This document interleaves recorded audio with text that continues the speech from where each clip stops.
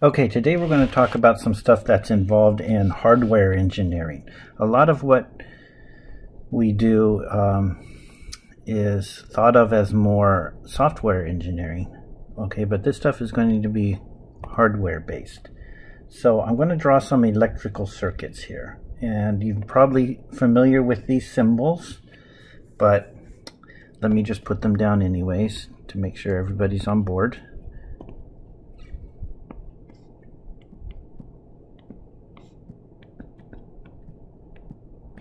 Okay, so for a switch, an electrical switch, can have two states, opened or closed. So, an open electrical switch will look like this. That means turned off. That's what open means. Okay, that's an open switch.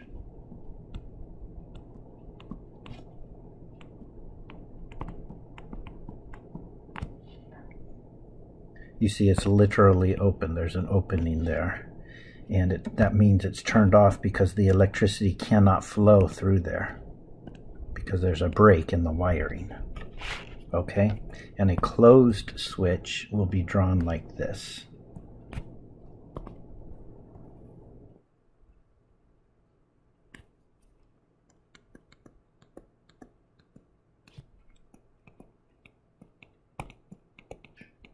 That represents the switch is being is turned on because the electricity can flow. Okay. All right. then a battery.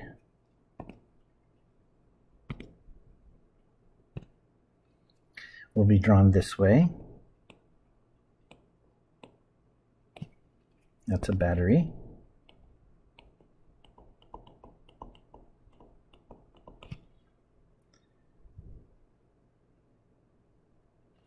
And a light bulb will be drawn like this.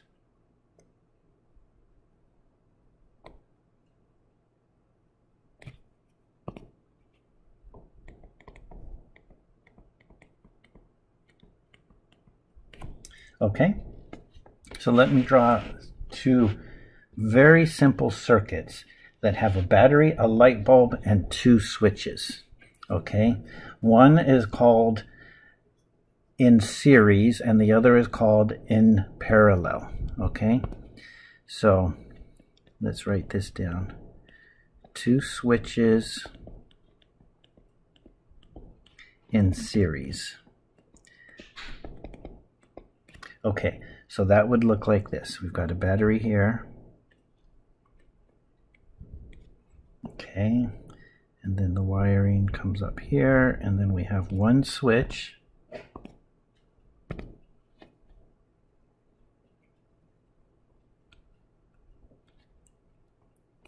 and then there's going to be another one following it.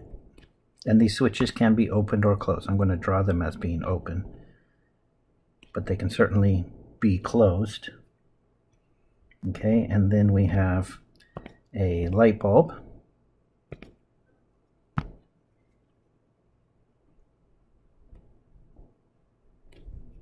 And then that's it.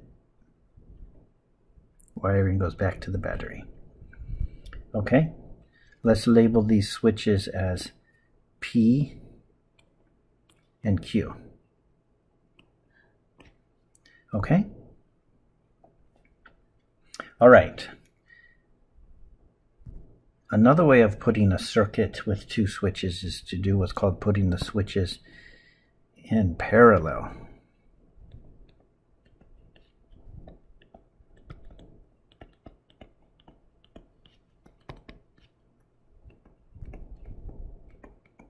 And then instead of the switches following one after the other,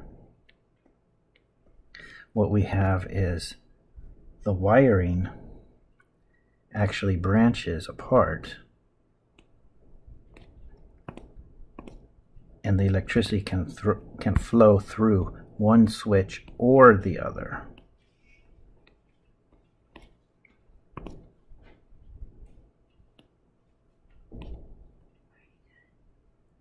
And then comes back together.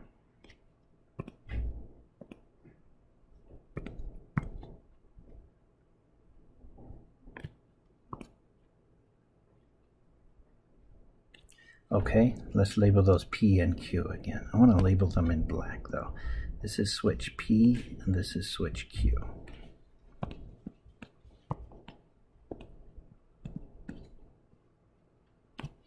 Okay, now let's write down a table that will show if the light bulb is on or off based upon the switches P and Q being opened or closed. Okay? So let's do that.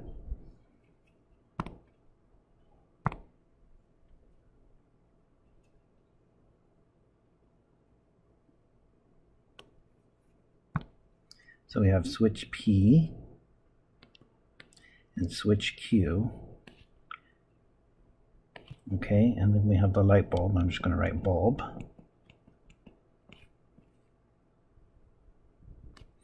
So, what are the possibilities for P and Q? They can each be opened or closed, right?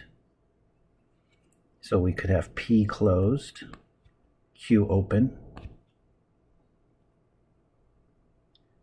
Actually, I'm sorry, uh, that we could have that certainly, but that's not the one I wanted to write first. Let's write P closed and Q closed. And you'll see why very, very soon, why I would like to do it in this order. We could have P closed and Q open, P open, Q closed, P open, and Q open. Okay, so let's look at these different possibilities, and I'll actually draw them in the picture. So there's the first possibility. P is closed. Whoops. And this one I should do. And Q is closed. Will the light bulb be on or off? Well, the electricity can flow through there very perfectly, right? So in that case, the light bulb would be on. Okay. Next option is P is closed, but Q is open. Then the electricity will not flow, and the light bulb will be off. Okay, here's a picture of P open, Q closed. Will the electricity flow? No, it won't, will it? So the bulb will be off. And then, of course, if both switches are open, then the electricity will not flow and the bulb will be off. Okay, so that's fine. You might recognize something there, but for right now, let's just leave that. Let's do the same thing for the parallel switches.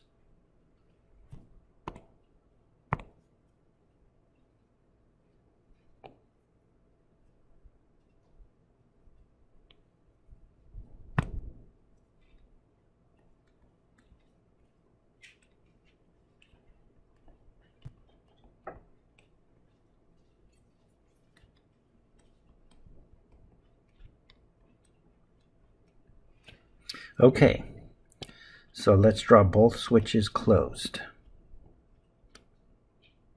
Will the electricity flow through the light bulb? It will, correct? There's actually plenty of options for the electricity to flow, and the light bulb will be on. Now, what if I leave P closed and I open Q? The electricity will still flow, won't it? It won't flow through Q, but it can still flow through P and work its way from the battery through the light bulb back to the battery. And so the light bulb will be on. Same idea if I open P and close Q. Same idea. Now if they're both open, then in this case, that's the only way to break the flow of electricity. In that case, the light bulb would be off. Now, what I want you to get from this is I hope you see a connection between this and stuff that we've already done. what if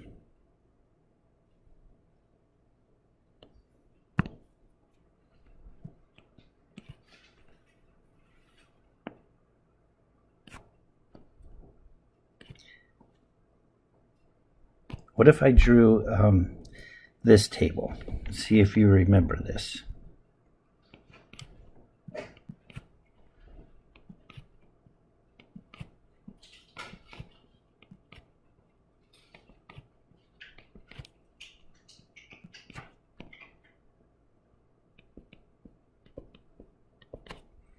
I'm leaving this up here blank for on purpose for a little bit, okay? But look at that truth table. Compare this truth table with this circuit table. Don't you see that they're the same thing except instead of closed and open, on and off? Remember, by the way, that closed, a closed switch is what we usually call on. When you say, I'm going to turn on the light switch, what that means is you're going to close the switch. So on all of these, instead of closed and open, let's use words on and off.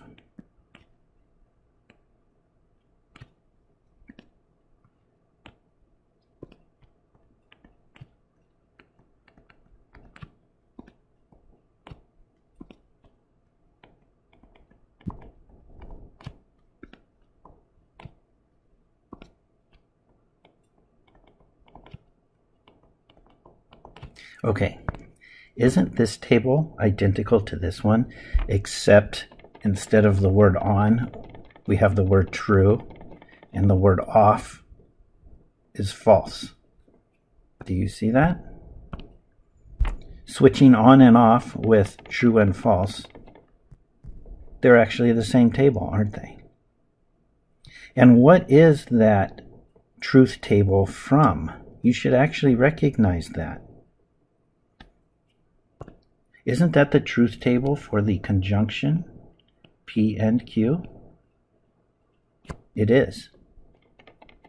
So this electrical circuit actually represents the idea P and Q. A logical idea being represented by a physical circuit. That's actually really important. That means that there's a reason to learn logic if you want to construct computers or any kind of electrical mechanism. Okay? Because the circuits are really just logical constructions. And it's no different for the second one. Let's change closed and open to the words on and off.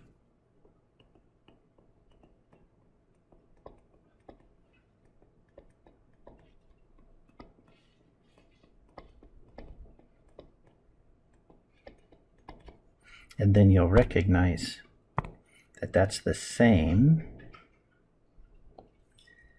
as this truth table.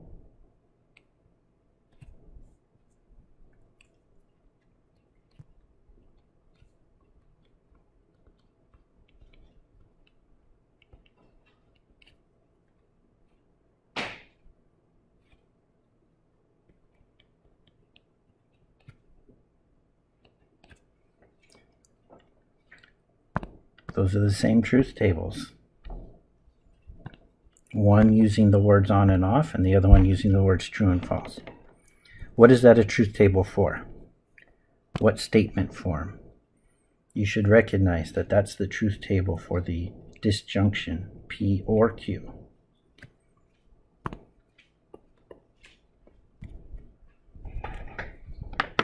So that's very important to come upon the realization that electrical circuits and logic are actually one and the same.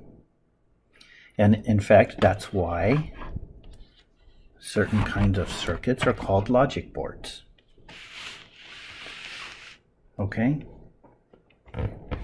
Now, let's run with that idea. But before we go any further, let's throw out some new words here.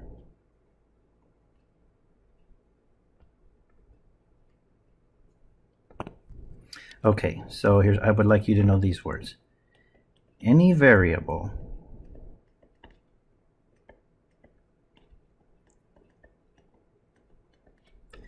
that can take on one of two values is called a Boolean variable named after an English mathematician, George Boole, who lived in the 1800s. Okay?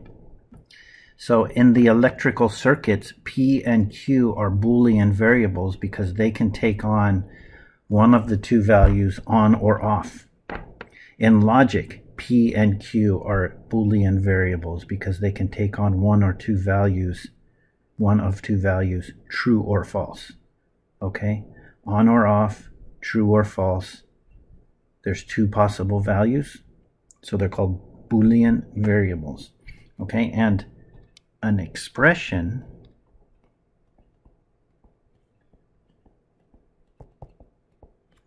made up of Boolean variables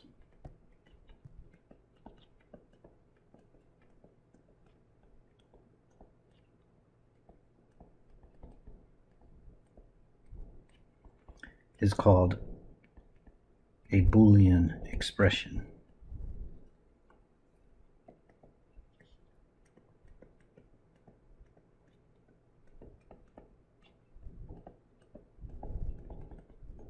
So things like P and Q or P or Q, those are Boolean expressions.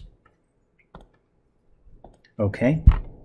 Now, oftentimes in hardware engineering, instead of on and off, we use the numbers 0 and 1. 0 represents off, and 1 represents on. So those tables up there would normally be drawn like this.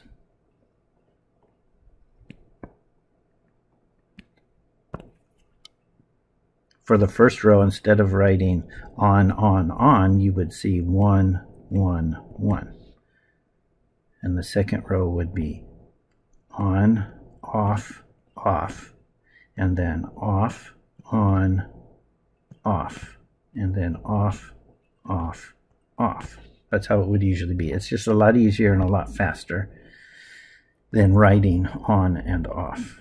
Okay, so let me change those tables.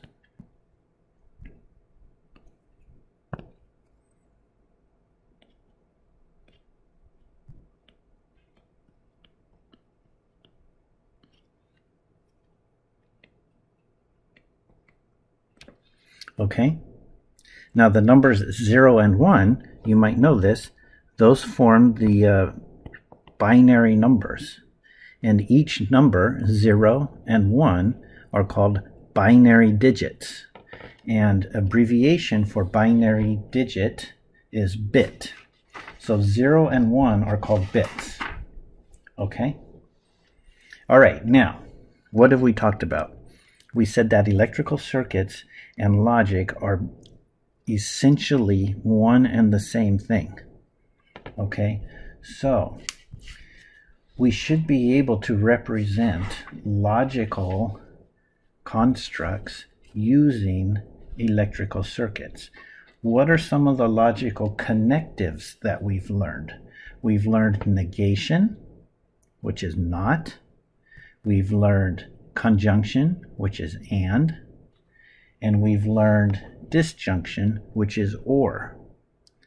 Okay, I want to show you how to represent each of those things in a logical circuit. Okay, when we build them into a logical circuit, they're called gates. okay? All right, so let's write this down.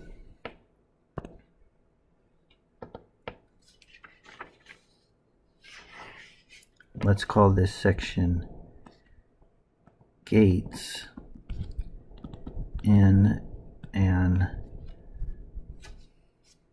well, I was going to say in an electrical circuit, but I think I would prefer to say in a logical circuit.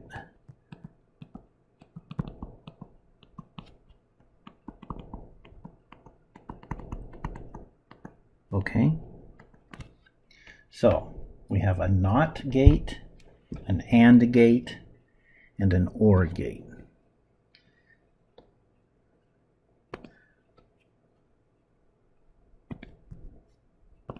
Okay, a NOT gate looks like this. We're going to represent that with a triangle. I did not need to make the lines quite that thick, but that's okay. All right, I'm going to write the word not in here.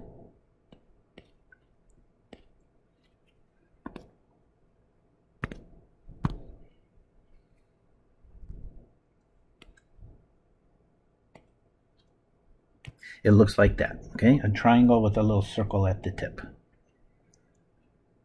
Okay, now you have P is the variable coming into the circuit. Whoops.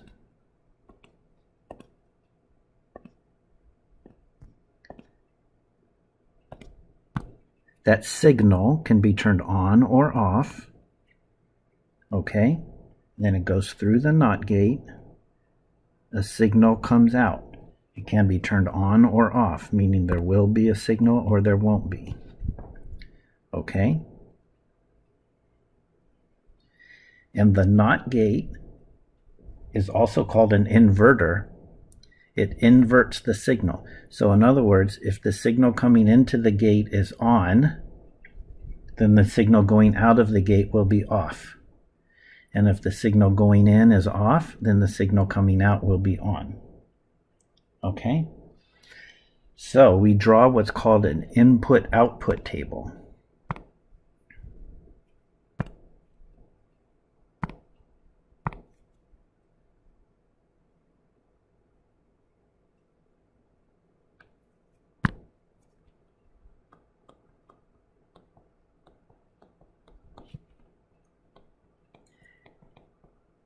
And in a circuit, there can be several inputs and several outputs. But for this one gate, there's only one input and one output. The input signal is P. The output signal is R. If P is on, R is off. And if P is off, R is on. That's called the input-output table for that gate. Okay? All right, then we have what's called an AND gate.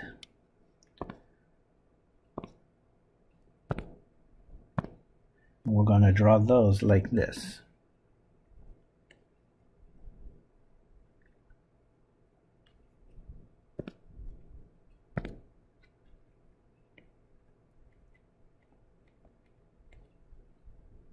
An AND gate has two signals input into it.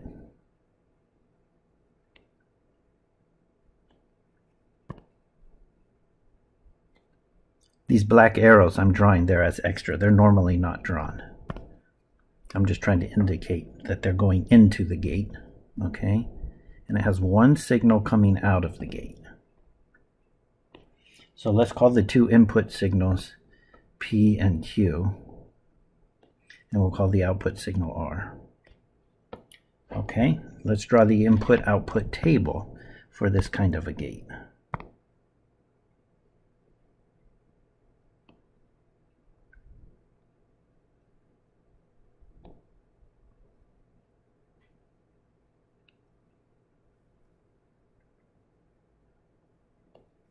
Okay, so we have this time two inputs. and one output.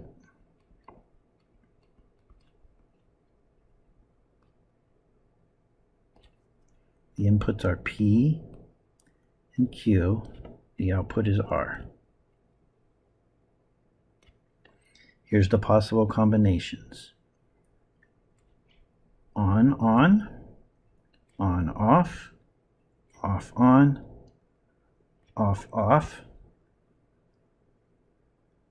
and if P and Q signals are both on, then R signal will be on. If either of P and Q are off, then R will be off. So I want you to notice that the NOT gate is the electrical version of negation. And the AND gate is the electrical version of a conjunction, which we saw, by the way, up above. That's the same thing. Like if you were wanting to physically build an AND gate, how could you physically build an AND gate? We saw it up above. By putting two switches in series. That's the same thing as AND. Okay? All right. And there's one more type of gate that I want to do right now. We'll get to others later, but right now let's just do this one. And that's an OR gate. Okay, we're going to draw them like this.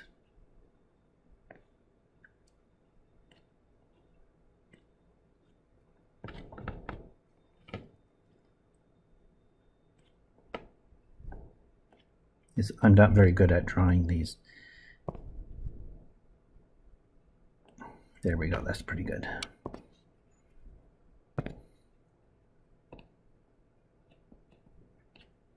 Okay, very similar to an AND gate, an OR gate has two input signals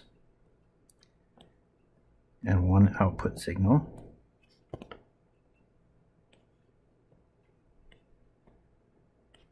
So let's call the inputs P and Q and the output R. And let's draw the input-output table. You probably already can guess what it's going to look like.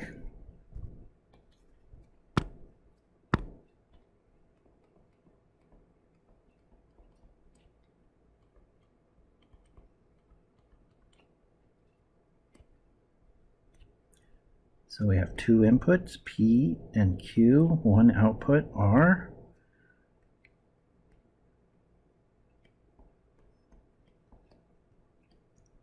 And it goes like this. If either P or Q signal is on, then R will be on. If both P and Q signals are off, then R will be off. And that is exactly the same idea as a disjunction.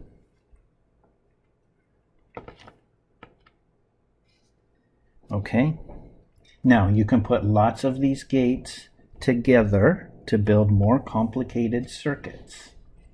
There's a few rules to follow. These are going to be called combinational circuits. And there's a few rules that you follow when doing this.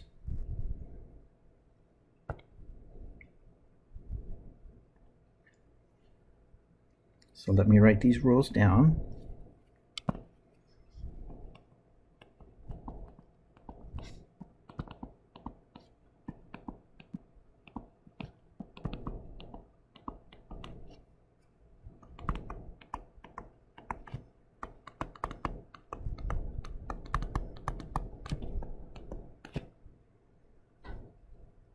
So the idea behind a combinational circuit is that we want it so that the output at any time is determined entirely by its input at that time without regard to previous inputs. Okay, I'm going to write that down.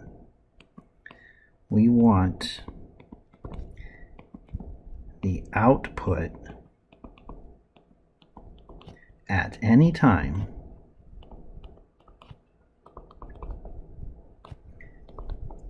to be determined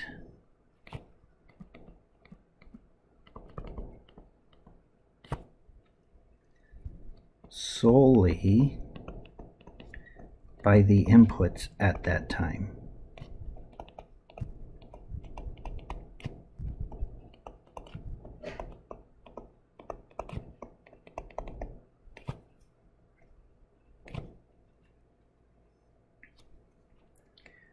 Without regard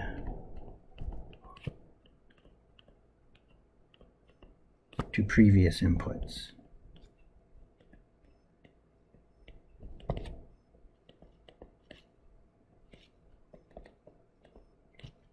And in order for that to happen, we have to follow a few rules. Okay? Number one, input wires are never combined.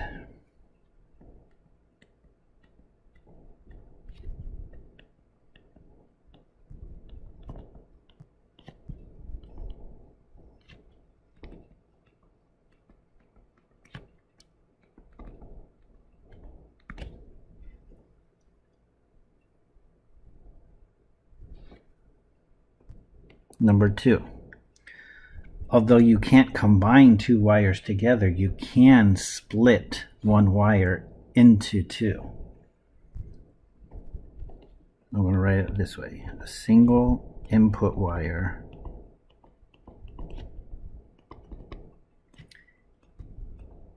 can be split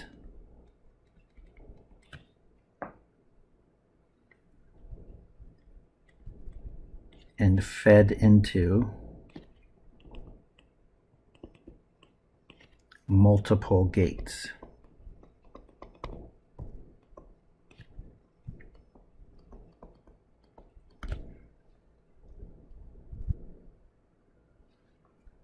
Number three, a wire that comes out of one gate can go into another gate. So an output wire can be used as an input wire.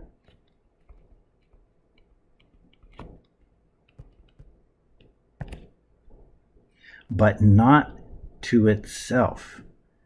You can't have an output wire feed back into the gate that it came out of, even after passing through other gates. Okay, so no output wire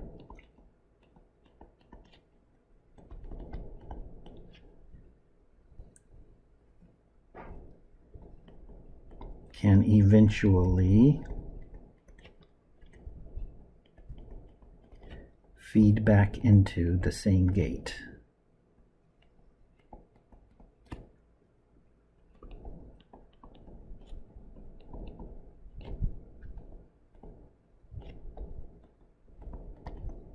Okay, those are the four rules we have to follow for these things called com combinational circuits. So I'll draw you a few examples, or maybe just one, depending upon how much time I take up on it. Okay, look at that circuit right there. It's got signals P and Q coming in. Okay, now this is a branching here when you see that dot. And when you draw these, you need to draw that dot if a wire branches off. So the wire P is splitting and going into two different paths. You must draw that dot because if you don't, if I just drew it like this, and then that's crossing the wire Q, like it is here, then look, how do I know which is the place that that is branching off of and which is it just crossing over? I would not know. So you must, when you draw these yourself, you must draw some sort of a dot like that showing that it's branching off. And then if there is no dot like that, I know it's just crossing over. Okay? All right. So, I want to come up with a Boolean expression for that circuit. So, how are we going to do that? Here's how you do it, okay? So you have signal traveling through P and Q into this gate here. and it's an OR gate. So what signal is going to be coming out of that is going to be the signal P or Q. So let's write that down here to keep track of it. Then the signal P or Q is traveling along that wire. Okay? Let's go down and look at this gate. You have P and Q feeding into that gate, and it's an AND gate.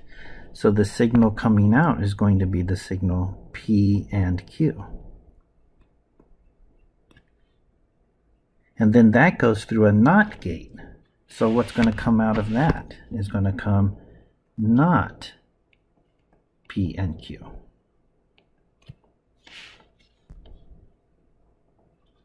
Okay, and then the signals P or Q and not P and Q both go through the AND gate and come out as what? P or Q and not P and Q.